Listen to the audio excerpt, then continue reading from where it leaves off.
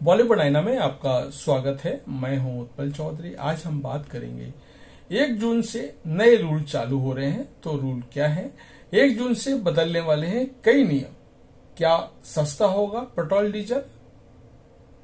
क्या petrol diesel को GST के अंदर लाया जाएगा? बगैर बारह करके क्या होगा, मैं आपको बता रहा हूँ। हर नए महीने में कई वित्तीय नियम बदल जाते हैं। एक जून 2024 से भी नियमों में बदलाव होने वाला है। चिलचिलाती गर्मी के बीच जून महीने में रसोई गैस सिलेंडर, बैंकों की छुट्टियाँ, आधार कार्ड में अपडेट और ड्राइविंग लाइसेंस से जुड़े नियमों में परिवर्तन होने वाले हैं। इन बदलावों को सीधा असर आम आदमी के जेब पर पड़ने वाला है। तो आइए जानते हैं, एक जून से कौन कौन से नियम बदलने वाले हैं। एलपीजी सिलेंडर समेत अन्य पेट्रोलियम पदार्थों की कीमतों में बदलाव।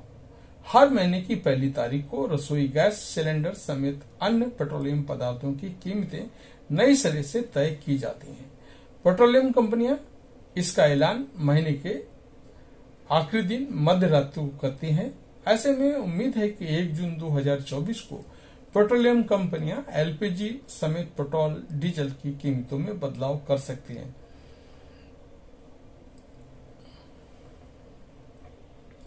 इससे पहले मई में पेट्रोलियम कंपनी ने वाणिज्यिक, यानी कॉमर्शियल सिलेंडरों की कीमतों में कटौती की थी।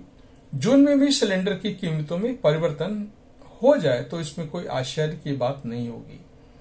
एक जून से लंबे समय से स्थिर रहे पेट्रोल, डीजल की कीमतों में बदलाव देख सकता है। हालाँकि कीमतें बदल बदलेंगी या नहीं, इस पर स्थिति 31 मई 2024 को मध्य रात्रि तक ही साफ़ हो सकेगी। ड्राइविंग लाइसेंस के लिए आरटीओ का चक्कर लगाने से मिलेगी निजात। एक जून से नए परिवहन नियम लागू हो रहे हैं। हर महीने में ड्राइविंग लाइसेंस हासिल करने के लिए आरटीओ में ही टेस्ट देना अनिवार्य नहीं रह जाएगा। ऐसे में ड्राइविंग लाइसेंस टेस्ट पास करने की प्रक्रिया अब आसान होने की उम्मीद है।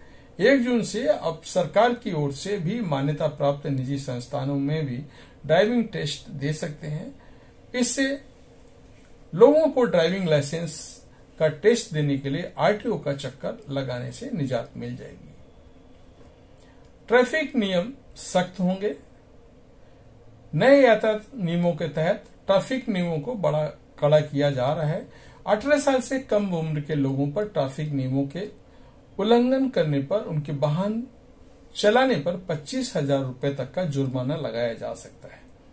ट्रैफ़िक नियमों के उल्लंघन करने पर लाइसेंस रद्द तो किया जाएगा।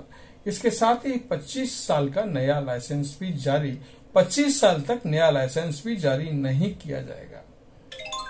अन्य यातायात नियमों के उल्लंघनों पर सीमा का भी प्रावधान किया गया है। तेज गति से गाड़ी चलाने पर एक हज़ार रुपये से दो हज़ार रुपये बिना लाइसेंस गाड़ी चलाने पर पाँच सौ रुपये हेलमेट न पहनने पर सौ रुपये और सीट बेल्ट न पहनने पर सौ रुपये का जुर्माना लगाया जाएगा। 14 जून तक मुफ़्त में कर सकेंगे Aadhaar update.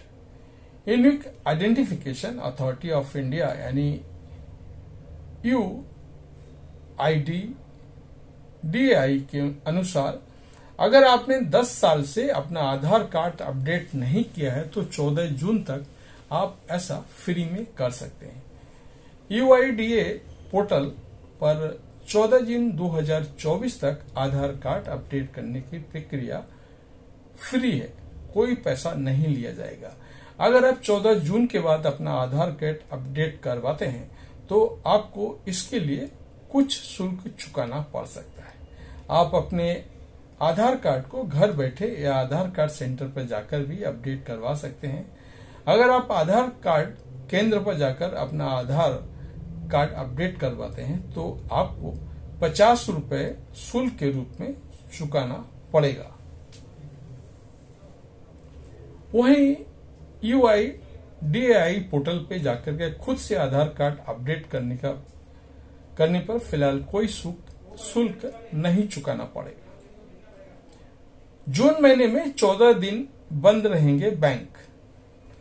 जून महीने में बकरीद बट सावित्री व्रत समेत अलग अलग पर्व त्योहारों पर, मौकों पर सार्वजनिक और साप्ताहिक छुट्टियों के चलते कई दिन बैंक बंद रहने वाले हैं। रिज़र्व बैंक ऑफ़ इंडिया की आधिकारिक वेबसाइट पर दी गई जानकारी के मुताबिक जून में कुल 12 दिन बैंक शाखाएँ बंद रहेंगी। लोकसभा चुनाव के सातवें चरण के मतदान के कारण जून महीने में पहली तारीख को ही कई राज्यों में कुछ क्षेत्रों में बैंक शाखाएँ बंद रहेंगी।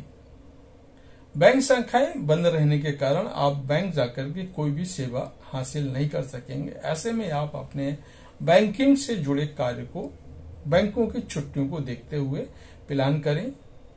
यही बेहतर रहेगा हालाँकि कई बार यहाँ गौर करने वाली बात है कि जिन दिनों को बैंक शाखाएँ बंद रहेंगी, उन दिनों में भी बैंक ऑनलाइन सेवाएँ यथावित, यथावत चालू रहेंगी। पैन आधार लिंक नहीं किया है तो होगी ये परेशानी। आयकर विभाग ने हाल ही में अधिसूचना में करदाताओं को अपने स्थायी खाता यानी पैन को 31 मई तक आधार के साथ जोड़ने के लिए कहा है ताकि उच्च दर पर कर कटौती में बचा जा सके। मौजूदा नियमों के अनुसार यदि करदाता का पैन इसके आधार से नहीं जुड़ा है तो स्रोत पर कर कटौती को एक जून से सामान्य दर में दो गुनी दर से काटा जाना अनिवार्य है। तो ये था हमारा आज का वीडियो। आपको कैसा लगा हमें अवश्य बताएँ। धन्यवाद।